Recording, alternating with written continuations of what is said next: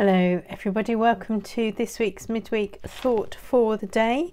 Um, we're still thinking about Jesus' ministry and his identity uh, as the Messiah, and we've been reading The Wrong Messiah by Nick Page, which is this book.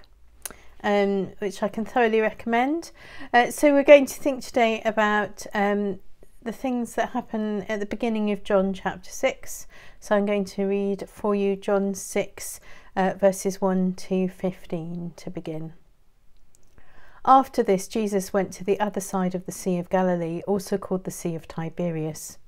A large crowd kept following him because they saw the signs he was doing for the sick. Jesus went up the mountain and sat down there with his disciples. now, the Passover, the festival of the Jews, was near.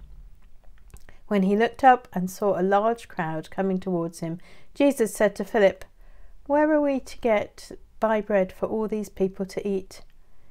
He said this to test him, for he himself knew what he was going to do. Philip answered him, Six months' wages would not buy enough bread for each of them to get a little. One of his disciples, Andrew, Simon Peter's brother, said to him, There is a boy here who has five barley loaves and two fish, but what are they among so many people? Jesus said, Make the people sit down. Now there was a great deal of grass in the place, so they sat down, about five thousand in all. Then Jesus took the loaves, and when he had given thanks, he distributed them to those who were seated, so also the fish, as much as they wanted. When they were satisfied, he told his disciples, Gather up the fragments left over so that nothing may be lost. So they gathered them up, and from the fragments of the five barley loaves left by those who had eaten, they filled twelve baskets. When the people saw the sign that he had done, they began to say, This indeed is the prophet who is to come into the world. When Jesus realized that they were about to come and take him by force to make him king, he withdrew again to the mountain by himself. so that's the reading for today. And it's a very interesting reading for me. I've been uh, reading through uh, the chapter, next chapter, on what's happening in this book. And uh, this is one of the stories that it talks about at this point. So Jesus is quite a long way on in his ministry at this point, and um, we're just kind of listening to what's going on. It's nearly Lent. And in Lent, we often think about the temptation of Jesus in the wilderness. Often a theme during Lent, we think about temptation and Jesus being in the wilderness and the 40 days and fasting and all those sorts of things. Now, can you remember the things that Jesus was tempted to do by the tempter in the wilderness? Well, one of them was to turn stones into bread. Jesus was really hungry, and the tempter said, You could turn these stones into bread. And then, if you think about the other temptations, and I'm particularly thinking of the one where Jesus is tempted to throw himself from the uh, pinnacle and be caught by the angels, but also the kind of surveying everything and being the king. So, those are temptations to do with power. And Jesus also, when um, when he's like bread, I'm hungry from these stones. I, I could do that, but I'm choosing not to do that. So Jesus had already refused. His boundary was already, I will not turn stones into bread. But here we find him turning five small barley loaves and two fish into enough fish and bread for lots and lots and lots and lots and lots and lots of people. So, why is this different? What has Jesus done or thought about his boundary to make his boundary shift? If his boundary was, I'm not going to turn stones into bread, why is he going to turn bread and fish into lots and lots more bread and fish?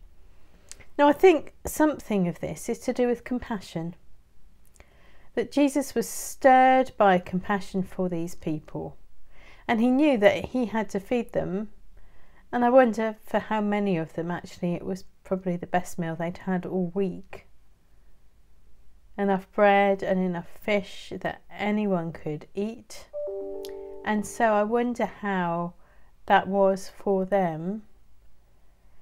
But Jesus had moved his boundary somewhere, or his boundary had been defined in a different way, that he was not going to turn stones into bread for himself to eat, but he was prepared to turn the bread and fish into enough bread and fish for everyone to eat. I think it was to do with the compassion, the being good for people. And the previous refusals of temptation had all been about power.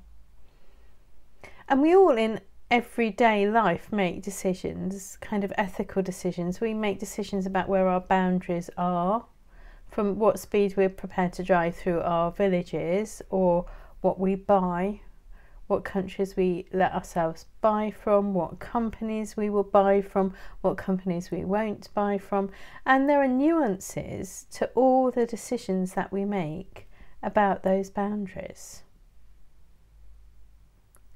What is it that drives our decision for a boundary to be a boundary that we will or we won't cross?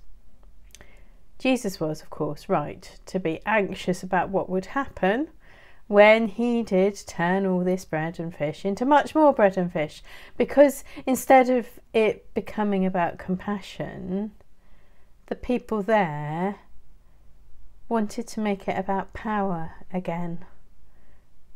When Jesus realized that they were about to come and take him by force to make him king, he withdrew again to the mountain by himself. Jesus had allowed himself to move his boundary, to act compassionately, and yet people around him had interpreted that as a sign of Jesus moving towards power.